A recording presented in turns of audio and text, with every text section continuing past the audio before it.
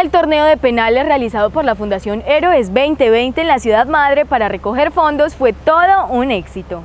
A su padre, quien ya no está en cuerpo presente con él, pero nunca se irá de su corazón, fue a quien le dedicó su título de campeón en el torneo de penales organizado por la Fundación Héroes 2020 Santiago Vélez Benítez.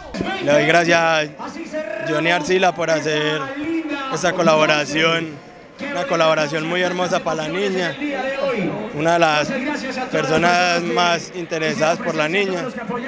Y le doy muchas gracias a mi papá por colaborarme hoy, que yo sé que fue el que me ayudó a ser el campeón de este torneo. Me siento muy feliz, nunca, nunca había pateado un penalti así con tanta gente, pero es muy duro, es muy duro uno con tanta gente cobrar el penalti, pero bien, bien. Gracias a Dios fuimos los campeones. Gracias, gracias. Este evento, que contó con la participación de más de 80 deportistas, tuvo una gran acogida entre los santafereños. Todo el dinero recaudado irá destinado al tratamiento médico que necesita la pequeña María del Mar Zapata Tilano.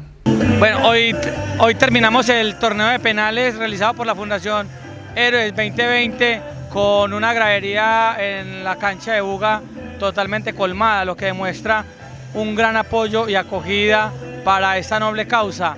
Con este torneo de penales la Fundación Euro 2020 recogió la suma de 7.365.000 pesos, suma de dinero que será destinada para el tratamiento de la niña María del Mar Zapata Tilano. Fue una muy buena causa y se sintió muy bueno participar en este torneo, trajo muchas alegrías. Eh, mucha gente apoyó, agradecerles también a toda la comunidad que se vinculó pateando ese hermoso penalti y vendrán más eventos.